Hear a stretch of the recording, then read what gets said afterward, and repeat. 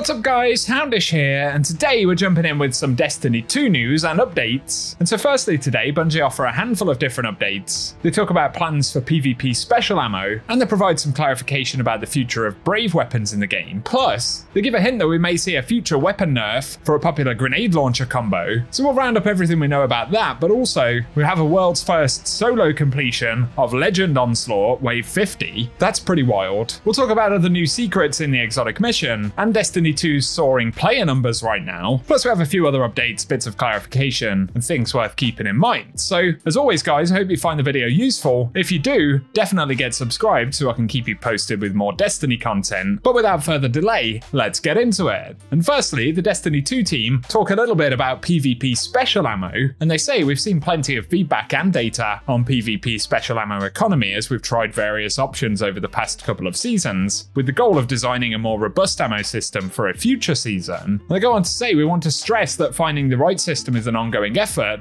Trial special ammo distribution will use crates again this weekend, and that's in reference to the trials that's just passed. But they say fewer overall crates will be available, and beginning next week, trials will return to the ammo meter system. So, in a way, at least that's a back to back contrast right there, and players will be able to compare what's happened this past weekend with the player experience in general on the next trials. But Bungie finally say we'll keep working on refinements around special ammo economy, and in the meantime, we appreciate all feedback. So give us your current experiences of special ammo in PvP, but keep in mind it will be switching up for trials this weekend. And so again, it will be a good point of comparison, but let us know your thoughts in the comment section. On the subject of Into the Light content though, the Destiny 2 team do clarify that all 12 base Brave weapons will still be able to be farmed after Into the Light concludes, but they have previously clarified that the limited edition variants of the weapons won't drop anymore, so it'll just be the basic versions, and as for Onslaught, they've added they'll be moving Onslaught over to a dedicated node in Vanguard Ops with the launch of the final shape,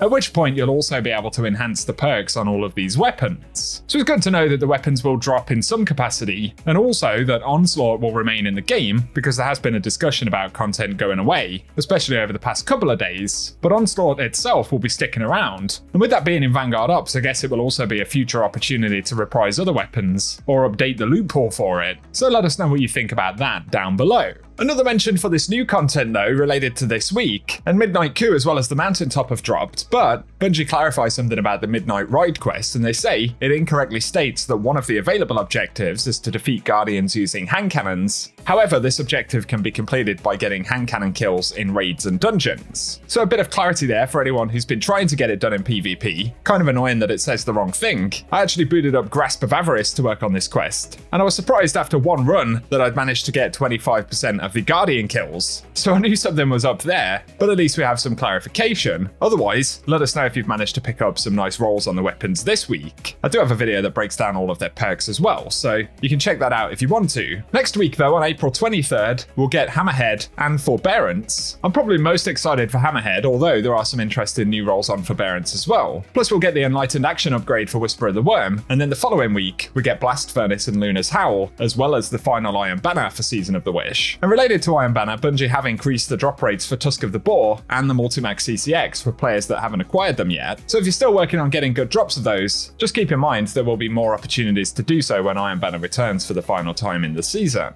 Up next, though, there's been a lot of conversation about grenade launchers with things like Cascade Point and Bait and Switch. It's certainly a role that players have been interested in going after on things like Edge Transit, but the community have also speculated that this will possibly be nerfed in the future, and the Destiny 2 team said, We've seen this discussion, and we wanted to let you know that we're currently evaluating the interactions of this combo, and while we don't have a specific change currently planned, we did want to give a heads up before anyone grinded too hard for this rare perk combo that it is likely to be altered in the future. So a strong indication right there that specific pairings of things like Envious Assassin or Cascade Point and and Switch, while very synergistic, of course it's very strong as well, and Bungie have said they are currently looking at it and that it's likely to be nerfed in the future to some degree. So something to keep in mind right there if you are grinding like a maniac to try and get that specific role. It may be worth leaning into other possibilities. Of course nothing is guaranteed, but the fact Bungie have mentioned this probably means that something's in the pipeline, but they're just not ready to talk about it specifically yet. So let us know your thoughts about that in the comment section, and I figured it was worth pointing out. On to a final few bits right here though,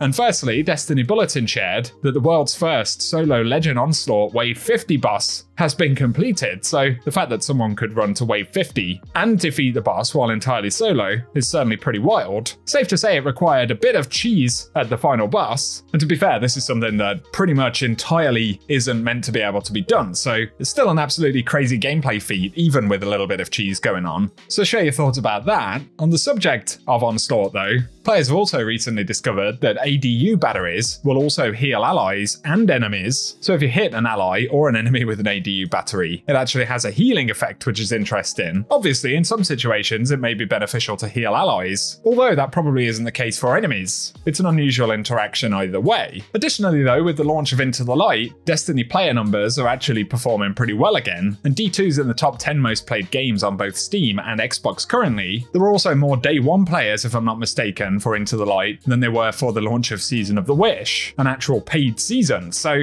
I think anticipation for the final shape, the future of the franchise and the title in general has certainly improved and players are more excited by Destiny again at the moment. Hopefully that's a trend we will see continue as we head into Final Shape, and it seems entirely possible. For now though, positive news, and share your thoughts in the comment section. Another random mention here, but Stock Astronaut on Reddit pointed out inside of the Whisper mission, the portal that previously showed the Vault of Glass actually displays a different destination now. Obviously, this is a minor Easter egg or perhaps even a teaser. I've got no idea what that could potentially be showing. Let us know down below if you have any thoughts on it, but it minor notable thing that Bungie updated that, and presumably it does have some kind of meaning, and perhaps that will make a little more sense in the future. A last mention though from Bungie Help, and they've said for the intro quest for Destiny 2, there is a step where Guardians have to level up to Guardian rank 5, but at that point in time, players have to head into the Vanguard playlist. And currently that quest is bugged, and Vanguard playlists are still grayed out. So Bungie Help have said they are aware of the issue and they're investigating the cause. So if you or any of your friends are perhaps running the new light portion of the game, just something to keep in mind that is sort of gatekeeping a bit of progress at the moment, but it's unintentional and Bungie are aware, so hopefully it's something they'll get fixed shortly. For today though guys, that's everything we have to speak about in the video. So as always, I hope you found this one interesting, and if you have, a rating below really does help us out on the channel. Also, let us know in the comment section any thoughts that you have on what we've spoken about today, and general impressions for Into the Light. Otherwise though, cheers for tuning in, and whatever you guys get up to, I hope you have an awesome day. So if the enemies of humanity want war, let's give them war.